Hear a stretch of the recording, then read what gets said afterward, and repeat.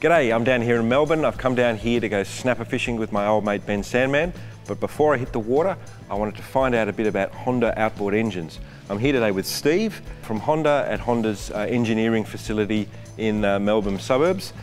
So Steve, it's been almost 50 years since Honda built its first uh, four-stroke outboard engine. I'm thinking, mate, there's probably a few changes that have happened in that time. Absolutely. The principle of the internal combustion engine remains the same, however, the modern engine now is obviously lighter, uh, it's more powerful, uh, larger engine capacity, and it has things like um, VTEC, uh, Blast, etc. that we'll go into a bit more later. So Steve, this is Honda's 60 horsepower four-stroke outboard. Uh, understand this little engine has got the Blast technology inside it.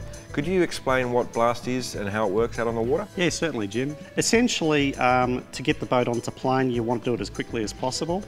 Um, so what we do is we advance the ignition timing uh, much more aggressively than previously. We add more fuel and obviously we get more power out of the engine. This is actually an industry first. So mate, once you're up on the plane and cruising, uh, what happens then? Do you still get that uh, four-stroke fuel efficiency?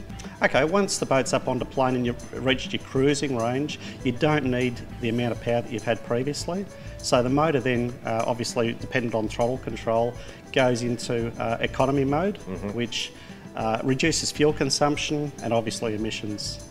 So you're still you're still getting that essential uh, fuel economy that's that's sort of integral to the whole four-stroke design philosophy. You're getting the best of both worlds. You're getting the performance and you're getting the fuel economy. So Steve, what horsepower range does the Blast start at? 40 horsepower. 40 horsepower up to the 225? Yep, that's correct. The latest generation, yes. Yeah. And VTEC is a, another big thing I know in Honda cars. It's part of the engine design in Honda vehicles? Yeah, look, absolutely. VTEC's been used. It's actually Formula One technology. It's been around for quite some time. It's been used very successfully in the cars and motorcycles and uh, back in the early 2000s adopted for marine. So let's have a look at a VTEC engine. Let's do it.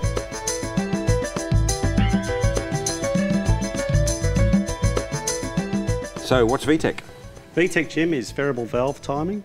It's actually exclusive to Honda. It was developed for Formula One racing years ago, uh, more recently developed for motor vehicles and motorcycles and then marine.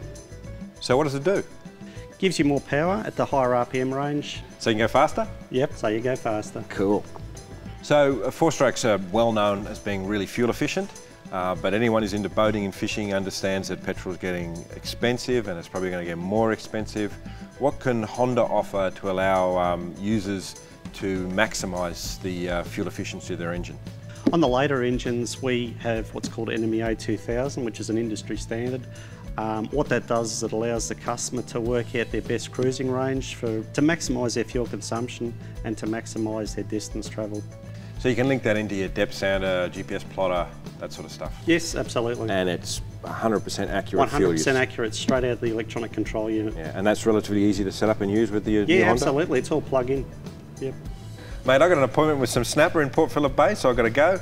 Um, the boat I'm going to be fishing out of the Savo is actually powered by a 200 horsepower Honda, so it'll be really interesting to see how the blast and eco mode and so on work out on the water. Thanks, Jim. I hope you get a few out on the water today, mate.